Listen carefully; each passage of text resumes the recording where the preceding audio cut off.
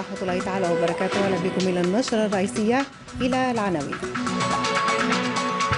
رئيس الجمهورية سيد عبد المجيد تبون يتلقى التهاني من نظيره المصري بمناسبة حلول عيد الفطر المبارك.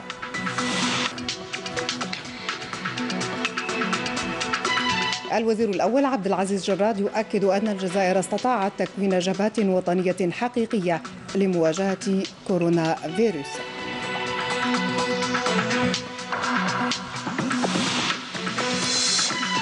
وطنية للتحسيس بأهمية ارتداء الكمامات الوقائية والتلفزيون يرافق الحدث في يوم مفتوح يرصد مجريات العملية عبر ربوع الوطن. 190 إصابة جديدة مؤكدة بفيروس كورونا وتماثل 194 مصابا للشفاء وتسجيل سبع وفيات رحمهم الله. لجنة الأهلة تلتئم اليوم في ليلة الشك لرصد هلال شوال والتحضيرات جارية ببشار لاستقبال عيد الفطر المبارك وسط أجواء من التضامن والتكافل.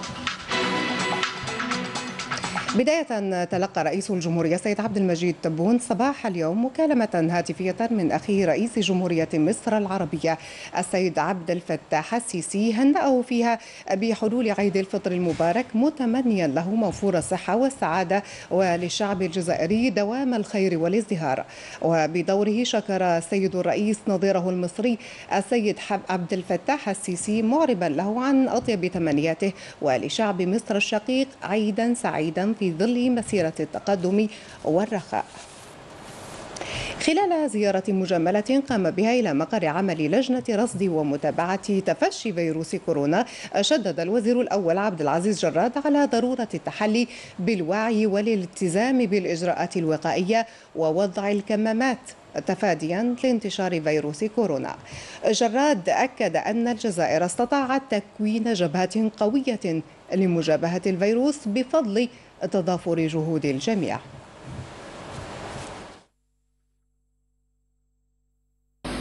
بسم الله الرحمن الرحيم. اولا وقبل كل شيء أنا سعيد بلقائكم. كانت في الحقيقة هذا زيارة هي زيارة محبة وأخوة لهذا المجلس العلمي الموقر المكلف منها أحسن نخبة من أطباء في وطننا.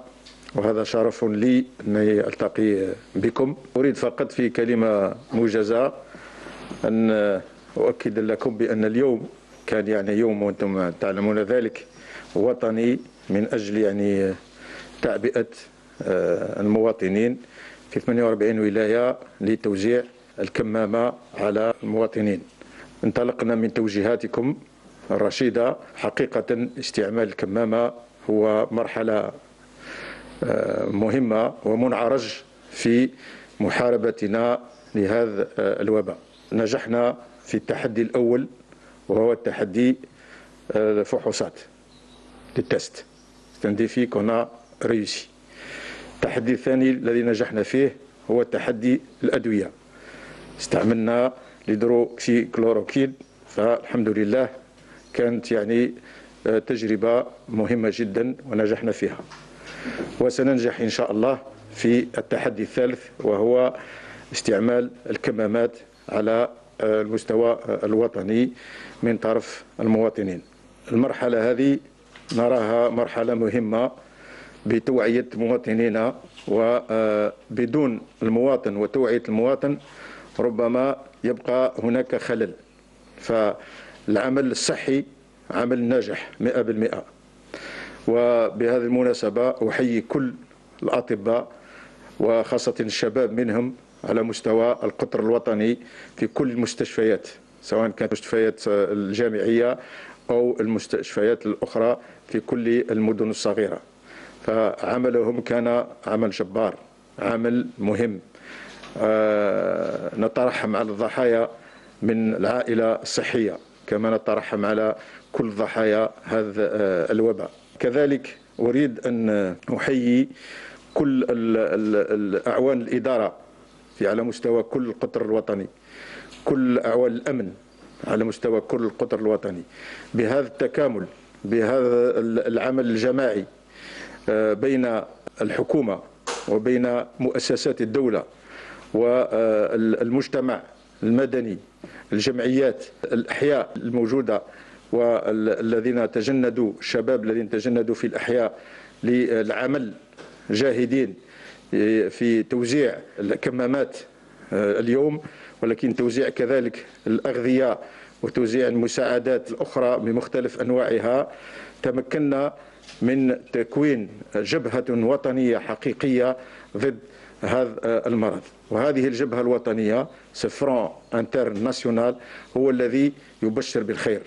فالأزمة تلد الهمة حقيقة وبالتالي سنخرج إن شاء الله من هذه المرحلة رافعين راية الوحدة الوطنية حب الوطن وحب الوطن من الإيمان. طبعا أحيي آه، الأسرة الصحية بمختلف آه، شرائحها الأطباء الأساتذة الأعوان الصحة والشبه الصحي. كذلك أريد آه، بالمناسبة هذه أن أبلغ لكم تحيات السيد رئيس الجمهورية تحيات محبة وإخلاص وأخوة ونحن معكم في كل مراحل هذا محاربة هذا الوباء. أتمنى لكم عيد مبارك إن شاء الله وسنخرج إن شاء الله ناصرين من هذه المرحلة وشكرا. من جهته وزير الصحة والسكان وإصلاح المستشفيات عبد الرحمن بن بوزيد أكد على أهمية احترام التدابير الوقائية التي من شأنها الحفاظ على الصحة العمومية. أن هذه التضحية وعدم احتفال بهذه المناسبة الدينية كباقي السنوات الماضية يجب أن تبعث فينا حافزا ودافعا حقيقيا للتصدي لهذا الوباء.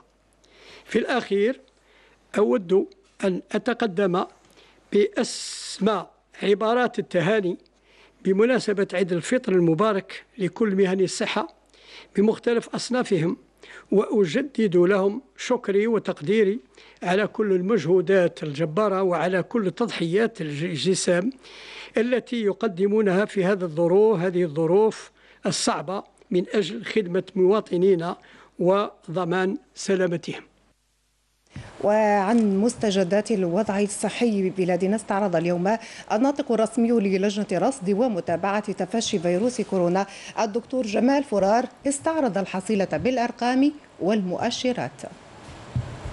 تسجيل 190 حالة جديدة يصبح العدد الإجمالي 7918 حالة أي بنسبة حدوث تقدر ب 18 حالة لكل 100 ألف نسمة. ونلاحظ أن 29 ولاية سجلت نسبة الحالات أقل من النسبة الوطنية لكل 100 ألف نسمة. و18 ولاية لم تسجل أي حالة خلال 24 ساعة الأخيرة. ولاية الجزائر العاصمة صديف قسنطينة والمسيلة سجلت أكبر عدد الحالات خلال 24 ساعة الأخيرة ما يعادل 48% من العدد الإجمالي للحالات.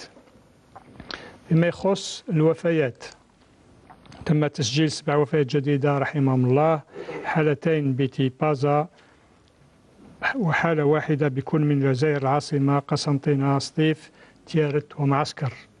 وبهذا يصبح العدد الإجمالي للوفيات 582 علما أن 66% من الوفيات تخص فئة الأشخاص الذين يبلغون من العمر 65 سنة فما فوق. فيما يخص الحالات التي استفادت من العلاج حسب البروتوكول المعمول به.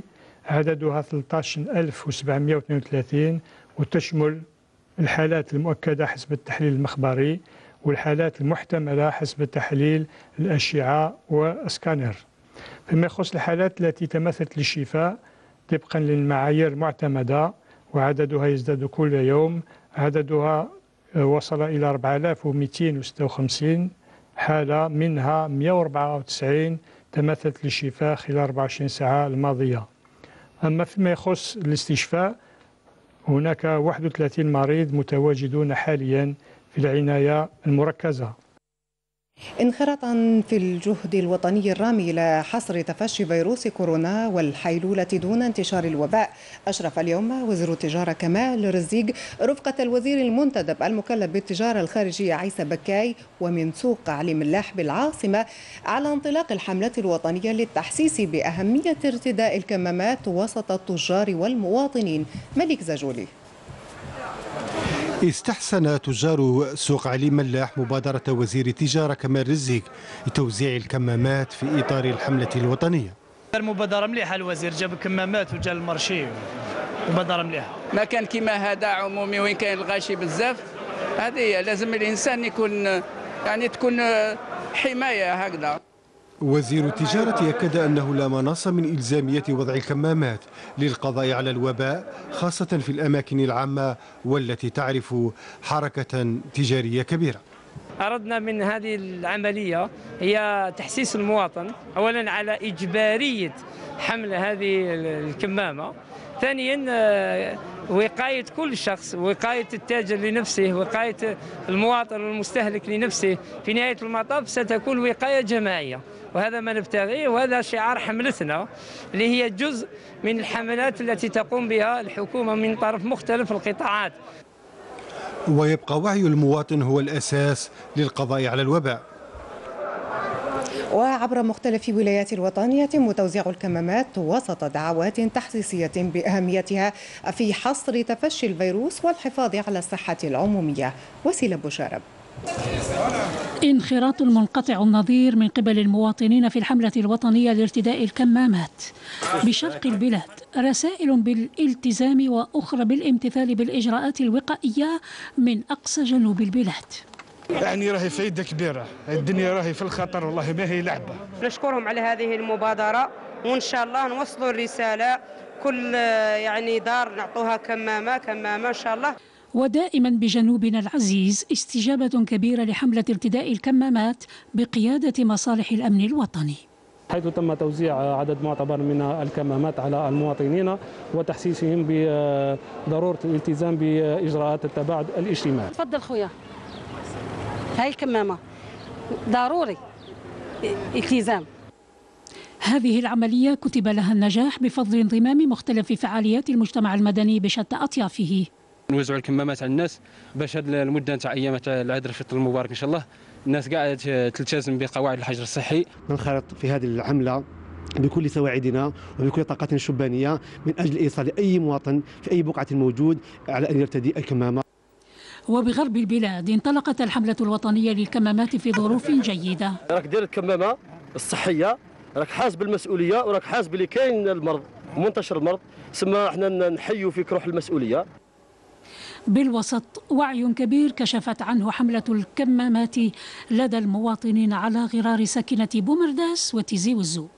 الحاجة اللي تخدمم بيان سور مثل كما تفهم منا كل الغاشي حضروا رواحكم يا خوتي ونفوتوا إن شاء الله هذا العيد بخير وعلى خير إن شاء الله ونتحدوا إن شاء الله واللي في خير ربي يجيبوا إن شاء الله. العاصمة نالت هي الأخرى حصة الأسد من حيث عدد الكمامات الموزعة والمقدرة بمئات الآلاف عشية عيد الفطر. Bien sûr, l'idée, puis j'ai demandé une autre. À parce que هذه elle a été confectionnée à la maison, comme ça. وهذه هي d'origine. إنها مبادرة حسنة مع هذا الوضع اللي رانا فيه. العملية مستمرة نظرا لإلزامية ارتداء الكمامة خلال يومي العيد المبارك. وبوهران ترافق السلطات المحلية جميع المستثمرين بالوحدات الصناعية المنتجة للمواد الأولية للمستلزمات الطبية لتفادي الندرة وضمان الوفرة. محمد سلمي وحدة صناعية في مجال النسيج الغير المنسوج الطبي بالسن وهران. تراهن على تموين مؤسسات وطنية وبعض المؤسسات الأجنبية بالمادة الأولية لإنتاج الكمامات. المادة الأولية أنها تكفي لتحويل 500 مليون كمامة سنوية. وكذلك تكلمنا أن هذا النسيج هو يخضع للنظم العالمية بحيث أنه قدرنا أن نصدر هذا المنتوج لأكثر من 40 دولة أجنبية. رانا تفاهمنا مع مع المستثمر باش يعطينا لا برودكسيون تاعو انويل وباش نمدوها لكل المؤسسات آه، اللي يشروا هذه المصانع يعني مش مصانع كل لي- كونفكسيونير باش يديروا هذه الكمامات. وهذه عينة أخرى لمؤسسة صناعية قائمة على إنتاج المستلزمات الطبية. صدرنا إلى ال- إلى الصين. الصين صدرنا لهم. مستلزمات وقائية قبل الجائحة تاع الكورونا. حاليا وقفنا التصدير لأننا لأننا نركز على على السوق المحلية وعلى وعلى على الوطن تاعنا. دروك حنا هنايا حاليا ال- المهمة تاعنا هي توفير الكميات اللازمة للوطن إن شاء الله لمحاربة هذا الفيروس للتذكير فإن هذه المشاريع تندرج ضمن مساعي الدولة الرامية إلى الحد من الندرة وتوفير مستلزمات الوقاية. كما شرعت ولاية إيليزي في عملية واسعة لتوزيع هذه الكمامات على المواطنين بعد تجند قطاع التكوين وحرفي السياحة والصناعات التقليدية. إبراهيم بالخير. تزامنا وقرار الحكومة بضرورة حمل الكمامات الواقية جندت ولاية إليزيه كل القطاعات المعنية بخياطة وتوزيع هذه الكمامات على كل المواطنين قبل عيد الفطر المبارك. توزيع الكمامات آه، يعني العملية نظمتها الولاية بالتنسيق مع يعني الحركة الجمعوية. اذا آه، نتمناه إن شاء الله آه، إخواننا المواطنين والمواطنات آه، يلتزموا بهذا الإجراء الوقائي. إن شاء الله يكونوا المواطنين في حسن ظن الجمعيات هذه اللي راح تبادر إن شاء الله باش يكون آه، الرسالة نتاعها إن شاء الله توصل للمجتمع 100% وربي يرفع علينا إن شاء الله هذا الوباء وعيد مبارك مسبقا للجميع إن شاء الله. ماذا بهم كي يجونا الحانوت؟ كمامات ويديروا مسافة الأمان بيناتهم باش حتى واحد ما ينضر ماذا بينا نكملوا رمضان كما بديناه ونعيدوا بصحة ولهنا حرفي السياحة والصناعات التقليدية بالرغم من التزامهم بطلبة الزبائن إلا أن نداء الوطن أجبرهم على المساهمة في خياطة الكمامات بدل الألبسة التقليدية دعما لجهود الدولة في القضاء على فيروس كورونا. مساهمة هذا صح جاتنا في الوقت غير مناسب. في الظروف يعني مزيرة خاطر إحنا نخدموا هنا درك هادو يامات ملتزمين مع الناس ياسر. الحمد لله وزغت مع الجماعة هنا نتاع السوق سواء الخياطين سواء التجاري. آه نتاع التجارة. حتى نتاع التجاري هما يشراو الكتان. إحنا خدمنا. أنا قسمتهم بين الخياطين. الوطن هو كلش. توسعت العملية. حيث أصبح كل آه، ساكنة الولاية الذين يشتغلون في هذا الحقل آه، ينتجون هذه ال- الكمامة باعتبار أنها أصبحت إجبارية للقضاء على آه، هذا الفيروس. وزعنا ما يفوق 11700 آه، كمامة صنع محلي ونرتقب اليوم باش تلحقنا 100 ألف كمامة من الصيدلية المركزية. ويبقى وعي المواطن والتزامه بالإجراءات الاحترازية العنصر الهام في معادلة القضاء على هذا الوباء.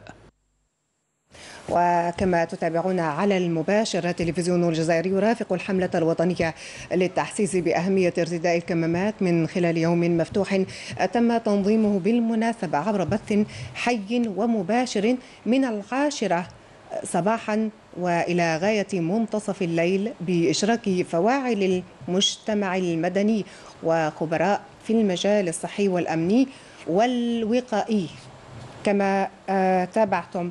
ويرصد التلفزيون مجريات هذه العملية الكبرى عبر محطاته ومراكزه الجهوية عبر مختلف ولايات الوطن. خاص بأسرة المستشفيات وخمسة آلاف خمسة عشر ألف طبية وستائر عازلة ومآذر شاركت في هذه العملية الكبرى لتوزيع الكمامات وفي سياق ذي صلة بهذا اليوم المفتوح التحسيسي حول أهمية ارتداء الكمامات يحضر معنا النشرة الوالي المنتدب للمقاطعة الإدارية لحسن داي السيد دلفي يزيد.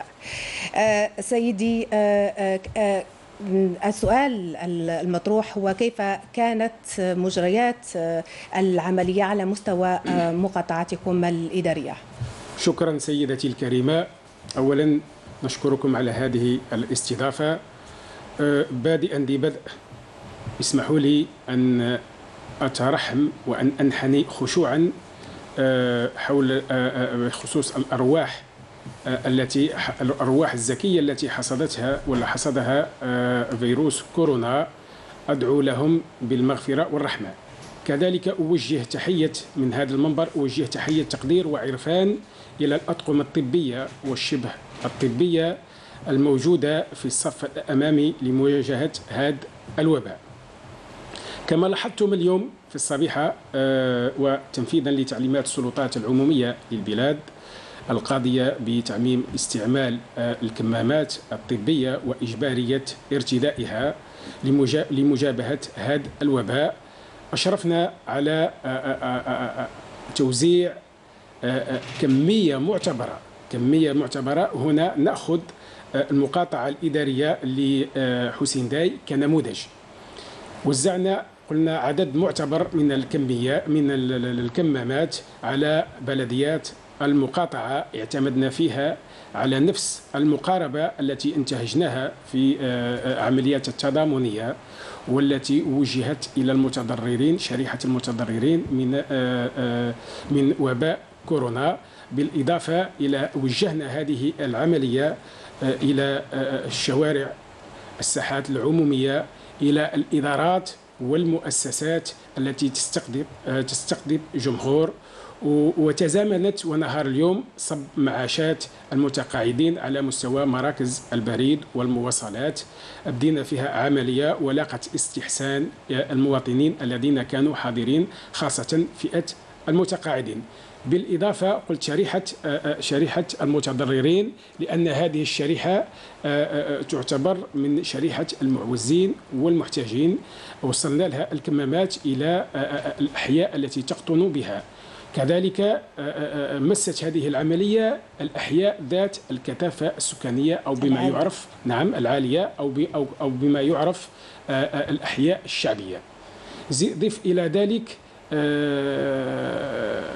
قلنا آه، هذه العملية آه، ستمس كذلك آه، كل كل كل المواطن اللي يقدم خدمات عمومية.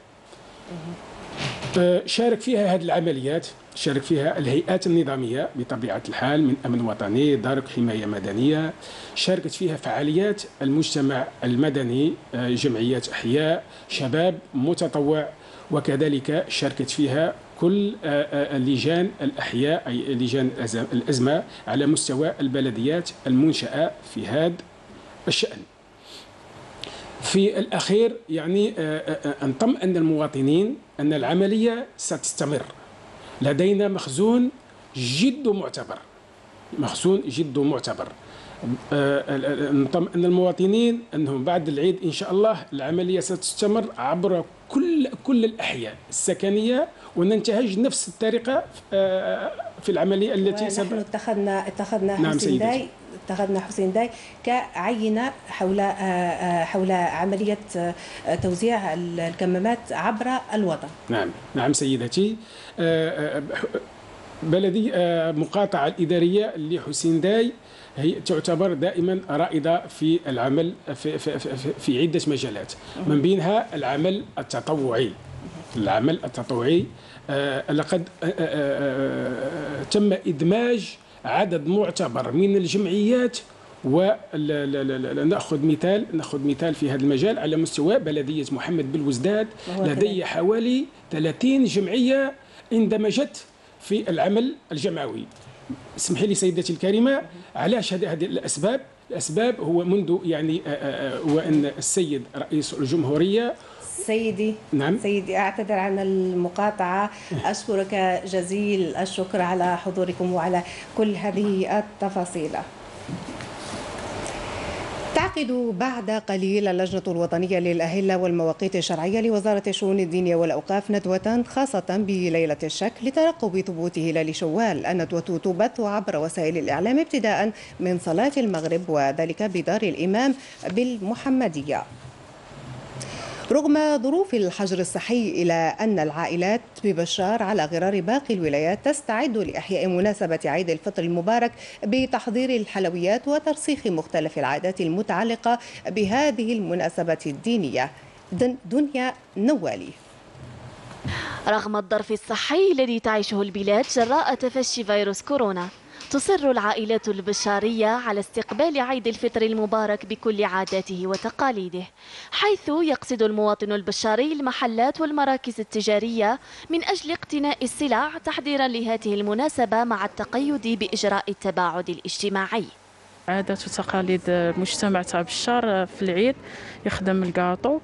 donc جيت هنايا نقتني الصوالح والسلعة راه زعما كاينة disponible و même les prix raisonnables في المنزل أجواء عائلية خاصة تصنعها تلك اللمة تحضيرا لحلوى العيد.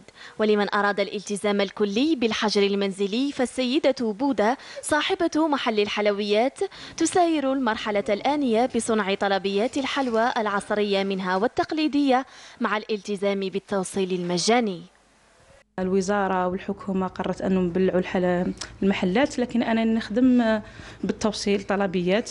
أو بحال غير بالطلبيات المحل رانا مبلعينه التحضيرات اللي حضرناها كانت صعيبة ماشي سهلة بحكم الشيء اللي لقيناه أن باش تنقلي الأماكن اللي تقضي بها صوالحك. بصح الحمد لله. مالغري لقينا صعوبات في النقل صعوبات في الشريان مع هذا الحجر الصحي. بصح بغينا نبدلوا نفسيتنا ونفسية ولادنا وخوتنا والصغار ودرنا الكاطو وعيد الفطر يأتي بأجوائه التراثية ليدخل البهجة والسرور على قلوب المسلمين. راجين من الله تعالى أن يرفع عنا الوباء والبلاء. وفرحة العيد لا تكتمل إلا برسم البهجة على محيا الأطفال اليتامى حيث قامت مديرية النشاط الاجتماعي وجمعية كافل اليتيم بتوزيع ملابس العيد على هذه الفئة وكذا العائلة المعوزة عمر بعلي. 1200 طفل. تدخل الفرحة بيوتهم بمناسبة عيد الفطر في مبادرة تضامنية تمثلت في توزيع كسوة العيد لأطفال يتامى ومن عائلات محتاجة في ولاية بومرداس. وكما ترون نحن عاكفين على تنظيم هذه العملية لإيصال هذه الكسوة كسوة العيد للأطفال. حتى وإن كنا في الحجر المنزلي إلا أن كسوة العيد لها يعني أهمية كبرى لدى أو في نفسية الطفل بصفة عامة. وإن شاء الله تجد هذه العملية التضامنية صدى وأثر اجتماعي جد إيجابي في نفوس العائلات المعوزة. نتمنى يعني المحسنين ولاية كما هذه بومرداس ما يكونش واحد يكونوا أكثر. والشيء اللي عجبني أنا بزاف ولايه بومرداس معروفه في هذا الشيء. وبإشراف من والي بومرداس اتحدت جمعيات ومديريات الولاية على أن تغطي هذه المبادرة 32 بلدية وبالخصوص مناطق الظل منها. هذه المبادرة قلت إذا تأتي لإعطاء البسمة لهؤلاء الأطفال وهي من إنجاز عمل تضامني بحت قام به أحد المحسنين بمعية قطاع التضامن والنشاط الاجتماعي. وبهذا يبقى التضامن والتآزر الثابت الدائم في المجتمع. ومن التقاليد الراسخة في هذه المناسبة تكثيف الحملات التضامنية مع سكان مناطق الظل من خلال تزويد ذوي الخصاصة بمختلف المساعدات. نور الدين بن عبسة. هي عملية تضامنية خاصة بعيد الفطر المبارك والقافلة حملت بكل ما تحتاجه العائلة المعوزة بمناطق الظل بقسنطينة.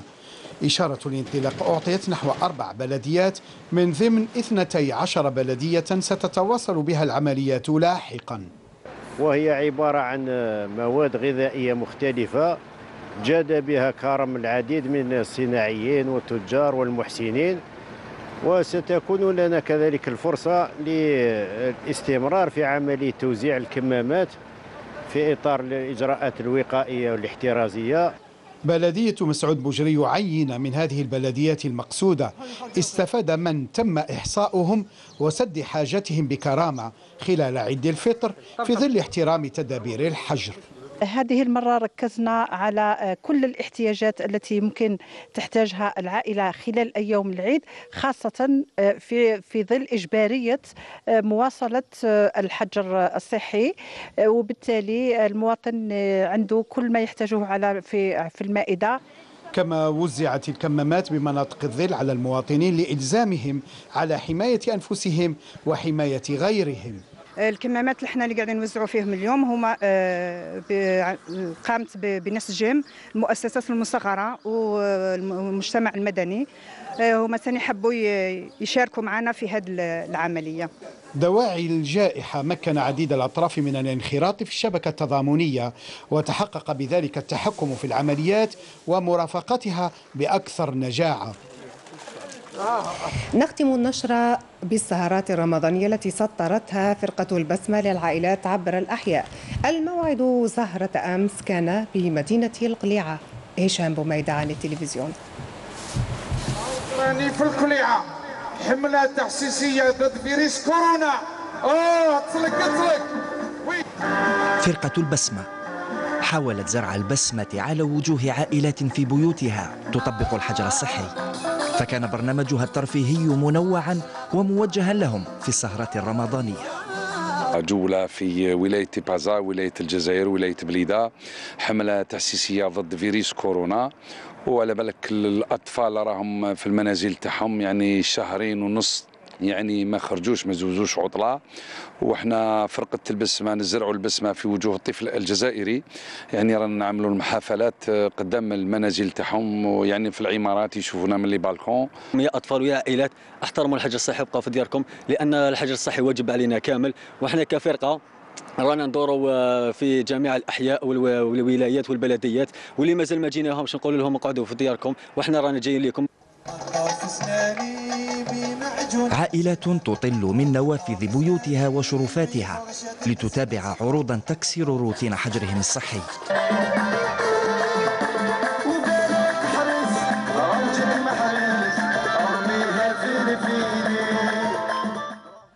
وصلنا إلى ختام النشرة العناوين الإلكترونية للتلفزيون الجزائري. تبقى مشاهدينا في خدمتكم صحة دوركم.